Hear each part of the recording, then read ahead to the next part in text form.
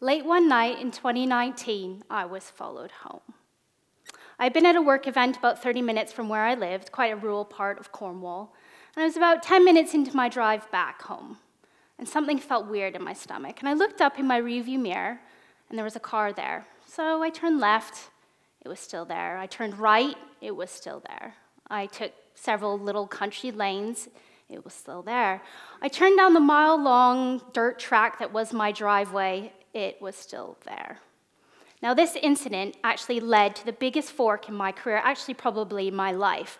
It's actually a fork that's having ramifications across the space industry today, and one that's actually impacting all of us and our future in the final frontier.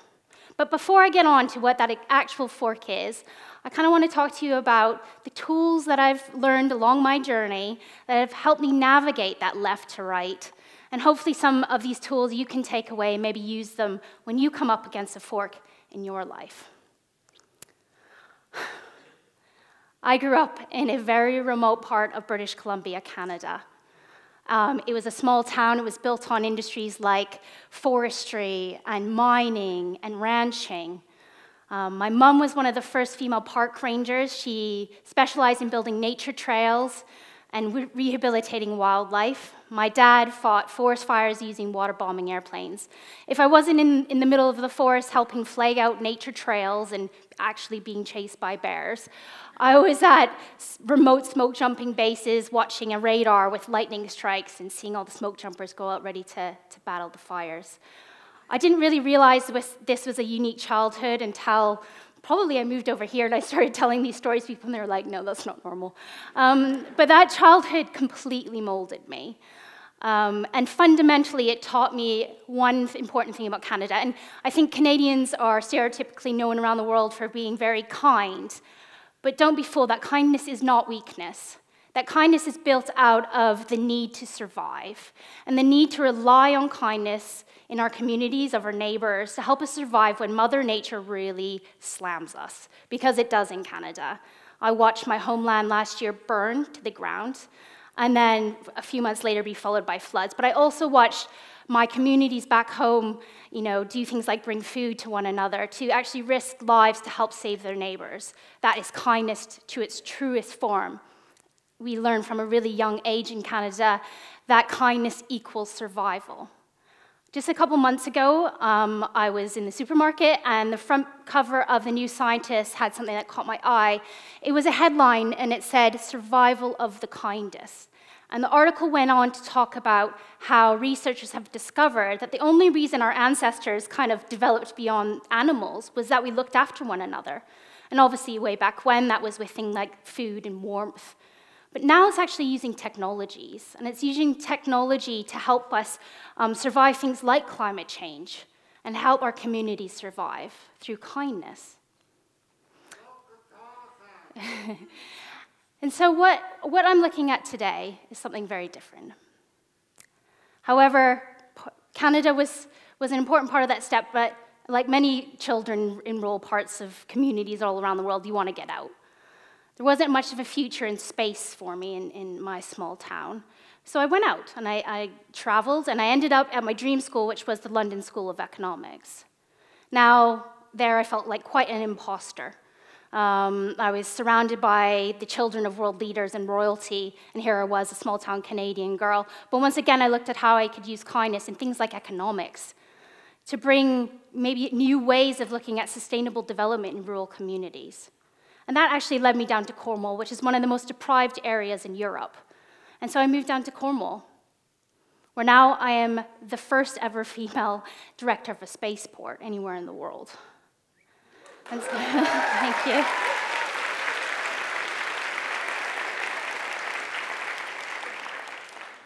So, what is a spaceport? Well, it's exactly what it says on the tin. It's a port to space. In our instance, in our instance, it's a port for satellites to get to space. Now, this image here probably doesn't look like what you would imagine as a spaceport. And that's because what the UK government identified a few years ago as a market opportunity. We build the, you know, the, um, a large proportion of the world's small, small satellites here in the UK, but at the moment they all get shipped overseas to launch. They get shipped to places like the US and Kazakhstan and, and until more recently, uh, Russia.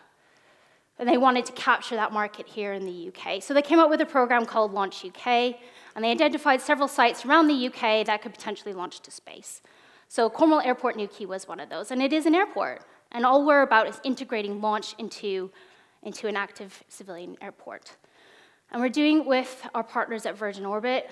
Um, Richard Branson has two space companies, one Virgin Galactic, which tends to get all the headlines, but we're working with Virgin Orbit, which is a small satellite launching company. Um, they use a Boeing 747 aircraft with a 70-foot rocket under one of its wings, and it launches that rocket mid-air. No big deal. And that rocket then goes into space where it deploys satellites into low Earth orbit.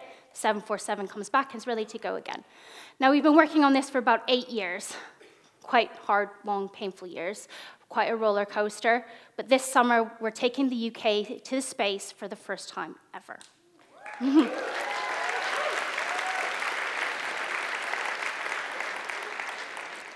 Why do we need satellites? Why are they so important to us? Every single one of you today has used a satellite at some point in your day. From probably the food that you ate this morning, whether it's the wheat in your cereal or toast that was probably monitored by, by a satellite somewhere, that farm that grew that wheat, to your phones, to anybody watching me online right now on the internet that you're using, to our medical industry, to things like finance. It underpins our daily lives here on Earth, but it does some really crucial things. It saves lives as well. The image behind me there is from the Ukraine, which I'm sure many of you have seen some of the really, really sad images from the Ukraine from satellites. But it gives us a perspective, an unbiased perspective on our world. It also gives us over 50% of our climate data today that we're using to help try and battle climate change.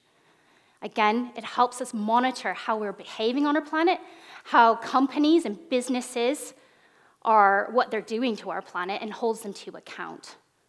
Satellites are flipping awesome.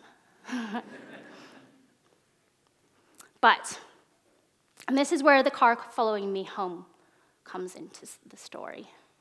A lot of people don't understand why satellites are so important. And they don't understand why we need to put them into space when we have enough problems here on Earth and that we should be focusing here on Earth rather than up there in space. In 2019, we were going through a Cornwall Council investment raising process to get the final amount of, of investment we needed to create the spaceport. At the exact same time, Cornwall Council declared a climate emergency, which of course we 100% supported. But we naively didn't realize that the average person on the street does not understand that satellites are part of the solution. We thought, oh, this is great. You know, we can actually get the satellites up there that can help us with this climate emergency. But as you can see here from this image, which was from the final vote for the council, this was pretty much every one of our meetings leading up to, um, to that moment. I became the kind of pinup of their frustration. I was harassed online, I was intimidated, my children were intimidated, and I was followed home. That still does happen. And you know what? I totally do not blame them. Because two reasons. The first reason the space industry is absolutely shockingly bad at communicating why space is so important to, to the average person on the street, let alone environmental um, reasons. I sit at conferences all the time and I hear the most amazing technologies that are going on to help us. But you might have heard the, the, the saying space is hard. Well, actually, translating space to the average person is really hard, and we're really bad as an industry at doing it. The second reason is this that space is actually impactful on the environment, launch in particular. If you close your eyes and you imagine a space launch about to happen, nothing about that says sustainability, nothing. And it's not. If you think about space launch, it's secretive, it's closed off, it's at remote parts of the world where you cannot access it. And it's very, very difficult to get any information out of them. Believe me, I have tried. Um, and it's not transparent at all. Industry is not. So, we have a choice here, and this is this fork in the road. that, has, that led me to this point in my career. And it's quite simple, actually. One way is bad space, and one way is good space. Well, what's bad space? Bad space is pretty much, pretty much what's been happening over the last 50 years. It's basically building technologies in secret, um, launching them in secret, chucking things up into space to do a lot of secretive stuff, um, not really caring about what happens to your, your technology in space once it's, it's not usable anymore, so you've got loads of issues with space debris. That's bad space. And then it's actually monopolizing the data that's coming back down to you know, your private investors or a lot of white men, basically, is what bad space is. And that's what's been going on for the last 50 years. What's good space? What is good space? It's something quite new. It's something that the UK and us here, you know, in Cornwall are, are trying to take a global lead in because there's a huge gap in this market at the moment. When I took on the head role of Spaceport Cornwall um, only a couple years ago, a lot of people didn't think I could do it. I was told I was too young, I was too inexperienced in the space sector. I obviously didn't look or speak like a spaceport director should. I'm sure you can all imagine what that might be. And I really did have a decision to make. I could be good at space, which was basically toe the line, business as usual, get stuff into space um, as people expected, as low cost as possible. Or I could look at my local community, the environment. I could look at my two young girls at home and my, my Ben, and I could say, you know what, we could use space for good. We could do something different here. So, we are. we really are. And we're really excited about how we're approaching and how we're making Cornwall proud of how we want to go to space. And how are we doing this? How is a small town Canadian girl and my small but mighty team of only six people going up against this 50 plus year old dinosaur? Well, it's, it's our purpose, it's good space. It motivates us every single day to get up and face politicians and um, protests and pandemics.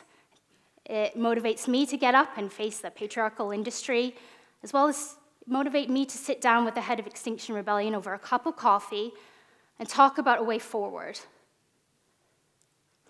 But a purpose is only words, really. We have to back that up with integrity and action. And so, what we're doing, we've got a sustainability action plan, a carbon report which shows the good and the bad, and what we're actually can do about it. It has an ethical framework. You know, we're creating a community satellite that we're designing, building, launching, tracking, all from Cornwall. It's going to map the ocean health around the, our coast. And we're going to run that data all through our outreach program and inspire the next generation to not only get into STEM careers, but to use the STEM careers to do something good for our planet. That's what good space is. And so this is why I'm excited to now go to space, because what we want to do now is to go out and challenge others to do this the same. We want Cornwall to be the guiding light for all the 70 new potential spaceports planned. We want to set the benchmark for how we should be accessing space. Cornwall is not Cape Canaveral, and I am not Elon Musk. but in that being different, it's allowed us to kind of actually do something truly remarkable. What if a spaceport was sustainable? What if a spaceport was net zero? What if a spaceport was B Corp? What if a spaceport democratized space and brought it right down to Earth? Can we do it? Of course we can if we want to. So, in an industry that's built on billions and billionaires, we want to do something bigger. We've got a moment here, all of us in this room, where humanity is about to become multiplanetary. How we do that is up to us. You guys need to start asking questions about this industry. Because it is, it is our future, it's our children's future, about where we're going and how we're getting there, and how we want to be represented, and how we want to use space back here on Earth. I choose using it for good. But the tools that I've learned hopefully will allow you to help to do the same.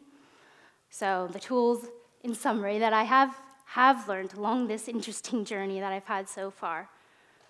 I've learned to really hone in on my purpose, to use that purpose to be my filter to identify opportunities as well as threats. I've been transparent about the good and the bad and what we're going to do about the bad. I've acted with integrity because I've backed that up with action, but then I've gone out and challenged the status quo. But finally, I've been kind, and I've, yes, even in business, I've been kind. Look, if I can do kindness in a harsh domain like space, and I can use kindness at, through uh, at every conversation I have, through every action that I take, then you can use it in whatever you're passionate about. You can actually bring good to your space. And so here we are, we're about to go to space, but that's actually the easy bit.